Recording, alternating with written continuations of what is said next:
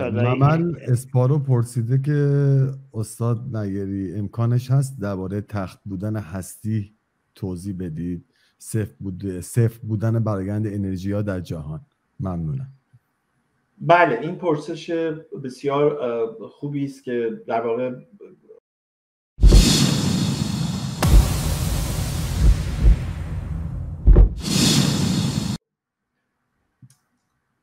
می‌دونید حرف انشتین اگه بخوام به طور خلاصه بگم این بود که نسبیت عام انشتین میگه که هندسه توسط رابطه هندسه با فیزیک چیه؟ هندسه عالم رو فیزیک تعیین می‌کنه و نوع فیزیکی که وجود داره رو هندسه تعیین می‌کنه. یعنی این رابطه دو طرف است. و همین دلیل بسیار رابطه سختی است که بخوایم یه حل جامع و کامل داشته باشه معادلات انشتین رو میشه فقط در حالتهای ویژه و حالت خاص حل کرد. هیچ کسی نتونسته معادلات انشتین رو در حالت کلی حل بکنه. برای اینکه شما باید یک هندسه ای براش تصور بکنید و بعد بر اساس اون فیزیک تعیین میشه و فیزیک می‌تونه هندسه رو تعیین حالا رابطه چون رابطه هندسی بین بین این دوتا وجود داره تخت بودن عالم یعنی اینم بهتون بگم. این به معنای این است که هندسه سبودی عالم تخته.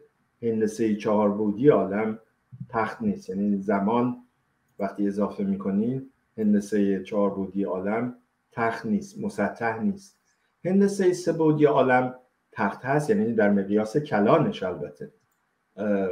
درست مثل اینکه که شما می‌بینید خونه خونه که توش هستین زمینش مسطحه. این به این معنی نیست که کره زمین مسطحه.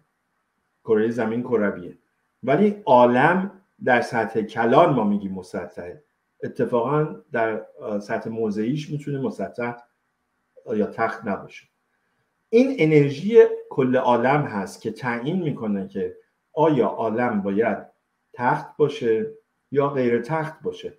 اگر انرژی کل عالم مثبت باشه یعنی میزان انرژی های مثبت عالم بیشتر از انرژی های منفی عالم باشه در این صورت در واقع شما هندسه ای دارید که اصطلاحا هندسه لباچوفسکی بهش میگن و این هندسه بخوام تصوری بهتون بدم شبیه زین اسب و دو تا خط موازی هر چقدر که پیش برن از همدیگه بیشتر و بیشتر فاصله میگن. یا مجموع انرژی های عالم منفیه در, در به این معنی است که انرژی گرانش غالب هست بر بیشتر انرژی های مثبت عالم و در این صورت هندسه ای که در نظر میگن هندسه ریمانیه و مثلا به حال اینا هر دوشون هندسه های ناقلدوسی هستن. دو خط موازی در واقع به هم نزدیکتر و نزدیکتر میشن تا در یک نقطه همدیگه رو قطع می‌کنن. برخلاف هندسه اقلیدوسی که دو خط موازی همیشه موازی خواهند بود مگر در بینهایت. بنابراین اساسا صفر و بینهایت معنی فیزیکی خوبی ندارن. بنابراین ما وقتی در فیزیک بینهایت داریم باید بینهایت ها رو به یک معنا هست کنیم. حالا تخت بودن عالم این هست که انرژی عالم مجموع انرژی مثبت و منفی صفره و این چیز بسیار عجیبی و جالبه که تنها در حالتی میشه عالم خود به خود به وجود بیاد که انرژی مجموع انرژی عالم صفر باشه. یعنی اگر مجموع انرژی عالم مثبت بود یا منفی بود شما احتیاج به یک عامل خارجی دارید که بتونه این عالم رو از هم به اصطلاح یا به وجودش بیاره یا این انرژی ها رو از همدیگه تفکیک بکنه. این هم از اون عجایب هست که در واقع انرژی کل عالم صفر بوده و هنوزم صفره.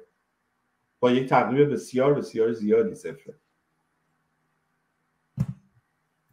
و ببخشید در چه عالم بر از نظر سبودی هندسه اقلیدوسی داره و 穆斯林在。